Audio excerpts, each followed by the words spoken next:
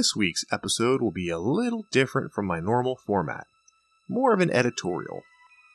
If you like this format and would like to see more like it, please let me know in the comments. As always, please support the channel by liking this video and hitting the subscribe button. I originally didn't want to make a video like this because I know it's going to be difficult to obtain decent gameplay footage for it, given the length of these games and how all my late game saves are long gone. You're going to see a lot of beginning of footage in this video. Final Fantasy has inspired a long line of main titles, spin-offs, and side stories over the course of the last 30 plus years, and remains one of the most successful franchises in gaming history. How did it achieve this status among the pantheon of video game gods? Why is it held in such high esteem? Why does it remain in the upper echelon despite mixed receptions of titles released in recent years? Let's start at the beginning. I've been playing Final Fantasy since the first game was released in the US back in 1990. I was only 9 years old then, and while this type of game was definitely aimed at an older audience, I was captivated by the characters and the setting. You see, I've always been fascinated with swords and sorcery, high fantasy, and the Middle Ages. So when I saw castles, swords, magic, and dragons, I just had to see what else this game had in store for me. With the Nintendo Power Strategy Guide in hand, I dove headfirst into the largest and most detailed fantasy world I had ever seen up to that point in my life. The history of Final Fantasy and the story of Hironobu Sakaguchi has been covered in great detail elsewhere on YouTube, so I won't recount the whole story here. What I will do, however, is tell you what set Final Fantasy apart from every other RPG at the time of its release. First, the battle system was something totally new. While battles were turn based, for the first time on a console, players could control four characters with unique special powers and abilities. A huge part of the game was creating a balanced party. This was not unheard of at the time. Many RPGs for home computers demanded this of the player, but it had never been done on a games console. Furthermore, the graphics were light years ahead of anything else in the genre. Sure, today these graphics aren't anything special. There are even many 8-bit games that look much better on the Famicom slash NES. However, when this game was released in Japan in 1987, it was compared to games like Dragon Quest II and Shin Megami Tensei, which didn't have the sharpness or level of detail of Final Fantasy. The side view of the battlefield was also totally novel, with other RPGs only offering a first person or top down perspective. The large sprites were ahead of their time, and while the heroes only had a small amount of animation and the enemies had no animation at all, it was still much more exciting to watch these battles unfold. Sakaguchi began a tradition of borrowing historical and mythical places and creatures for his Final Fantasy games.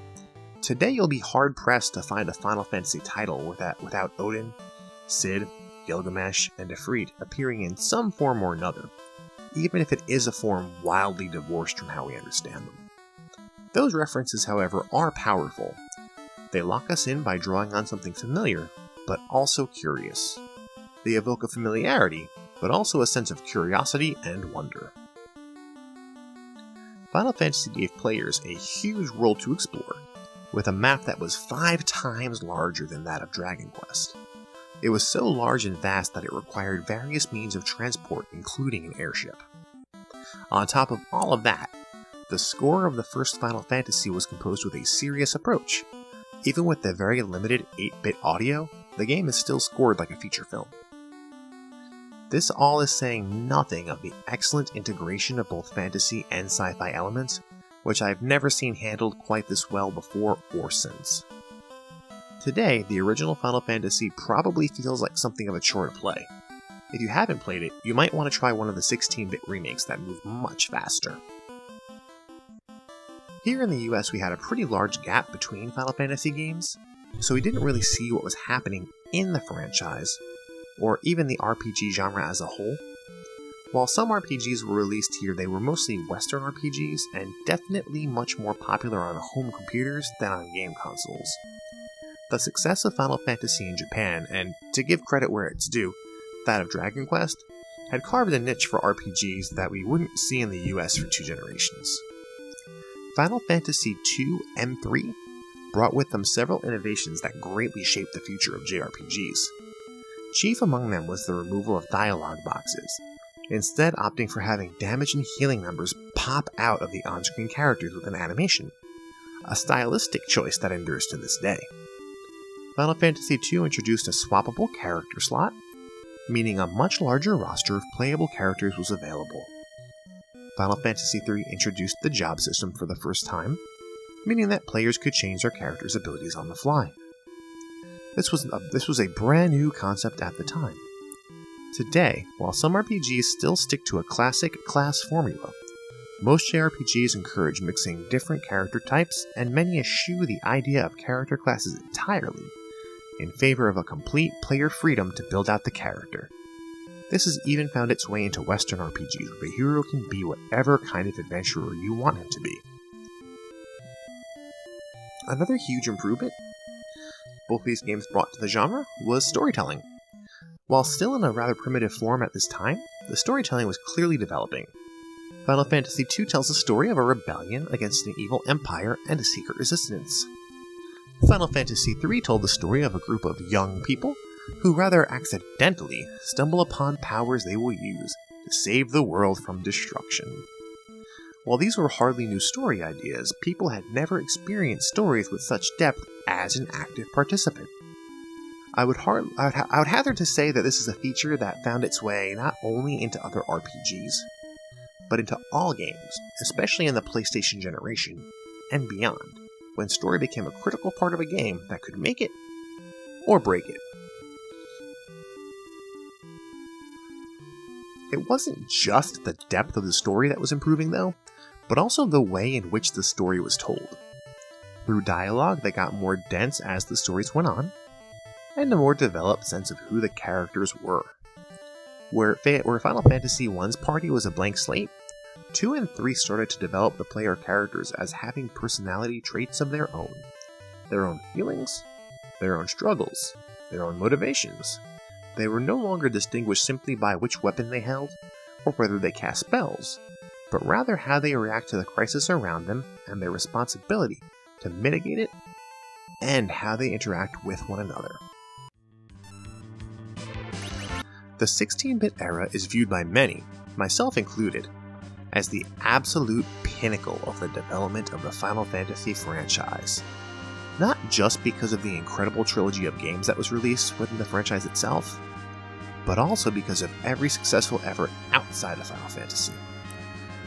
While the US will probably recognize only Chrono Trigger, Secret of Mana, and Earthbound as the biggest JRPG hits of that time, Japan was undergoing something of a renaissance of RPGs, with countless incredible titles, many of which were heavily inspired and influenced by Final Fantasy.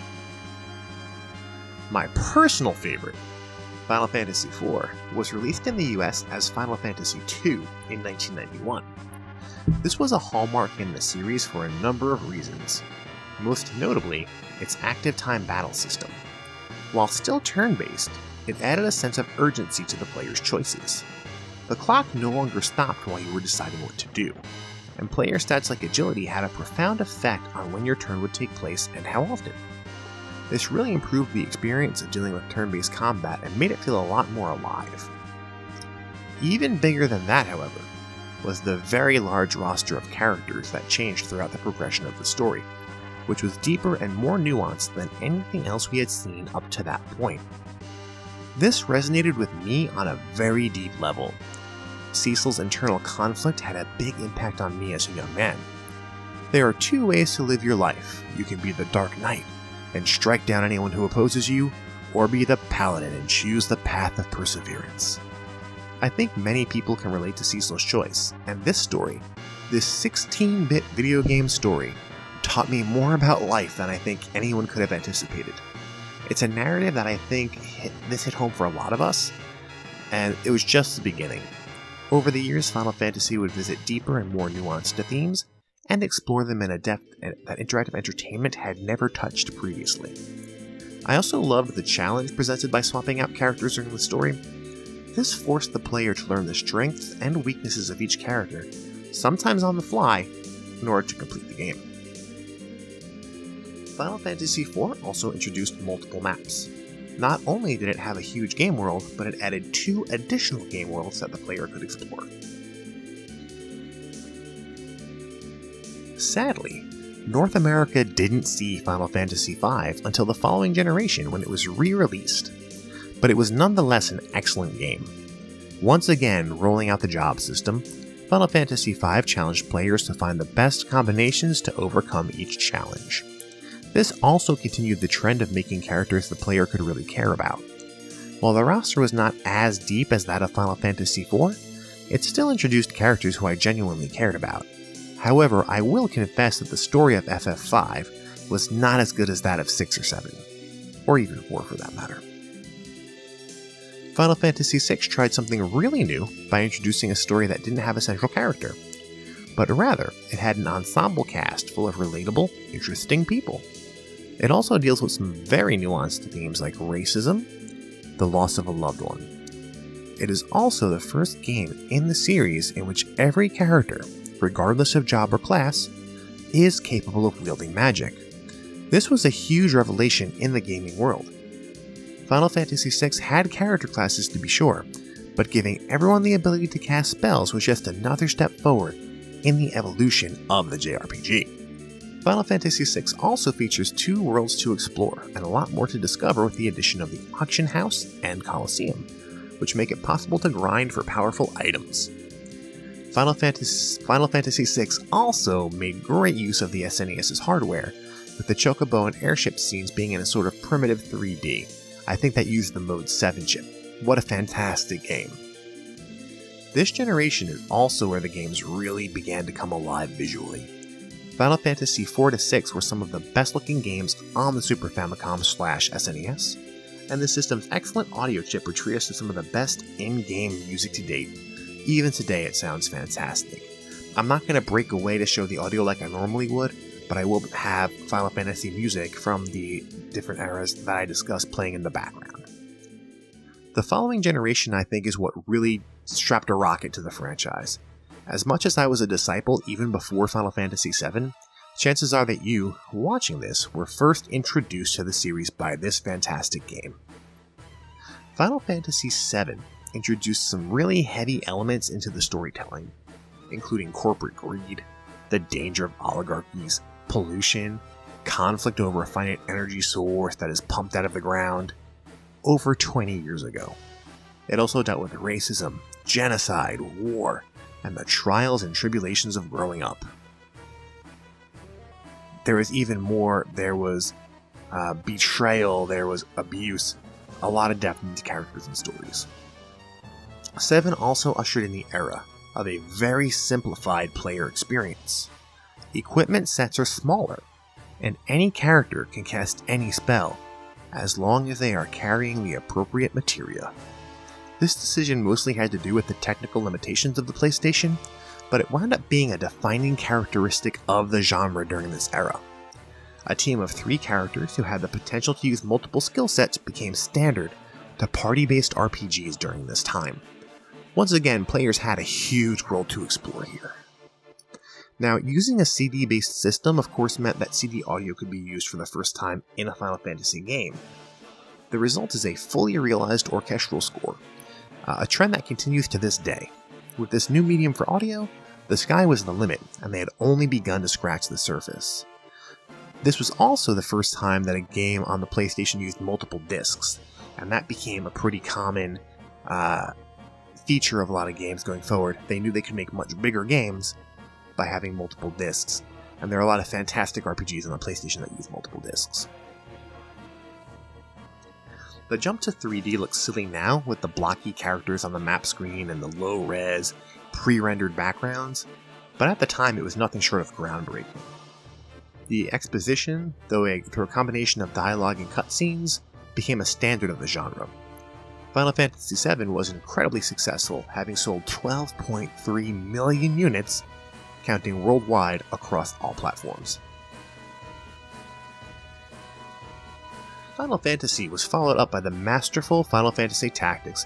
I should say, rather, Final Fantasy VII was followed up by the masterful Final Fantasy Tactics, an isometric strategy RPG that often gets overlooked in the shadow of the main series.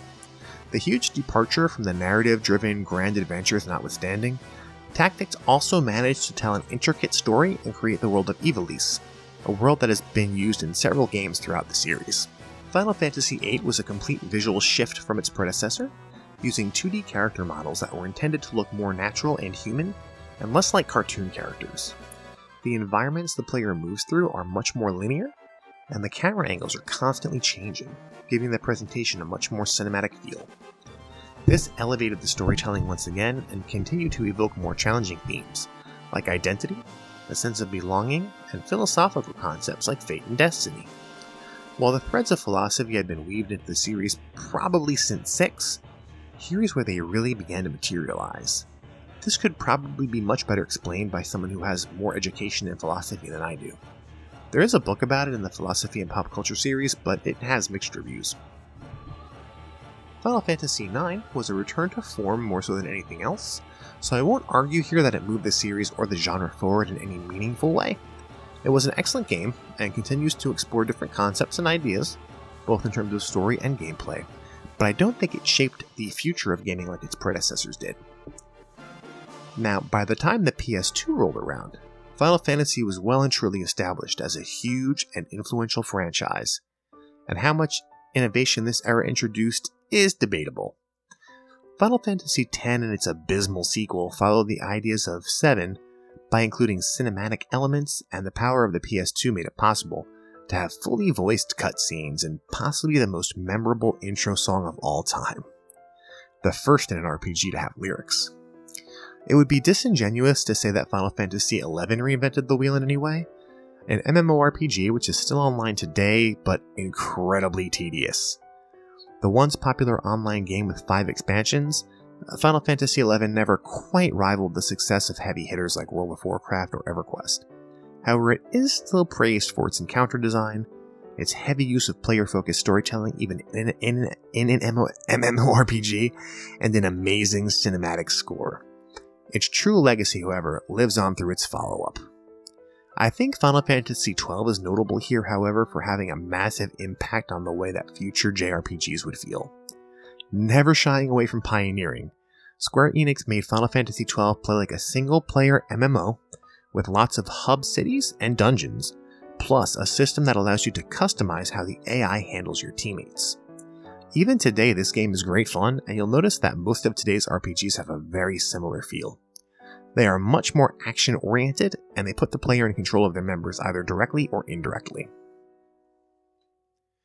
I am sorry to say, but I think that Final Fantasy XII was the last truly impactful game in the series, and while I will praise Yoshi P and how he turned Final Fantasy XIV from an embarrassing failure into the best MMORPG experience I've ever had, it hasn't exactly shaped the future of MMORPGs. The entries on the PS3 era beyond and beyond have had some issues, and if I can play the critic, I think the franchise had really lost sight of what made it great. I don't want to end on a sour note, but I hope someone who truly has love for the history of these games takes the helm in the future and brings the series back to what made it so fantastic to begin with. Big stories, told well, with characters the player really cares about, and lots of things to and lots of things and places to discover. In conclusion, showing someone who had never played Final Fantasy what's so great about it today is a little bit like showing Black Sabbath to a heavy metal fan who had never heard them. They just seem like old RPGs now, but that's only because of the way they shaped JRPGs. Without Final Fantasy, the entire genre would be very different today. There is one intangible element that makes these games truly great, and that's a little more difficult to explain. It's probably partly due to very smart people who know just the right way to make this magic happen, but there's an emotional element to these games. For me, and I think for many other players, we connect to Final Fantasy because it makes us laugh and it makes us cry. I can remember playing these games and being moved by the plight of the characters on screen.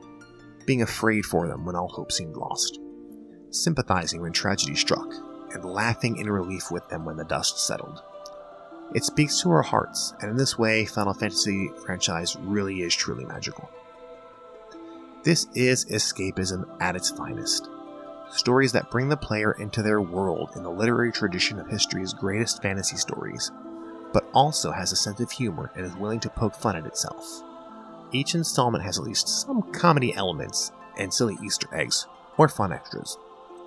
On a final note, I know there is tremendous debate online perpetually about which Final Fantasy game was the best of all time. If I am pressed to answer that question, I will have to say that Final Fantasy VI is absolutely the best game in the history of the franchise. The way the story is told has never quite been duplicated in the world of video games, and I've never felt so connected to such a large cast of characters in any work of fiction. I believe that Final Fantasy VI truly is a great work of art. I hope that watching this video has helped you to understand what's so great about Final Fantasy. If you enjoyed this, please like, subscribe, and turn on notifications. Leave a comment and tell me your favorite Final Fantasy memories. Until next time, game over.